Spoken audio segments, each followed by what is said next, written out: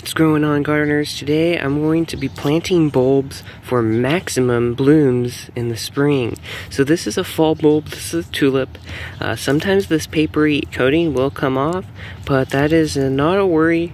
So what you'll do is just dig a hole about four inches deep.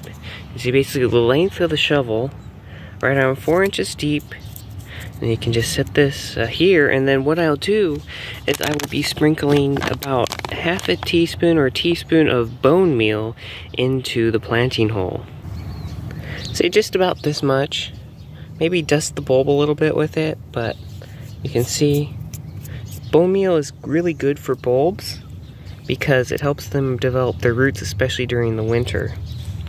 So nothing too fancy, and then what I'll do is just set it in there with the bone meal, and then just take the dirt over and cover it up.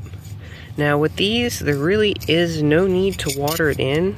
You can if you want to, and I probably will just to, you know, make sure for insurance, um, you know, for that. But also the bone meal helps with the uh, production of blooms because you need a good root system in order to, you know, have a lot of blooms. So this is the bone meal I have. I bought it off of Amazon on sale for like $8, something like that. Really good price.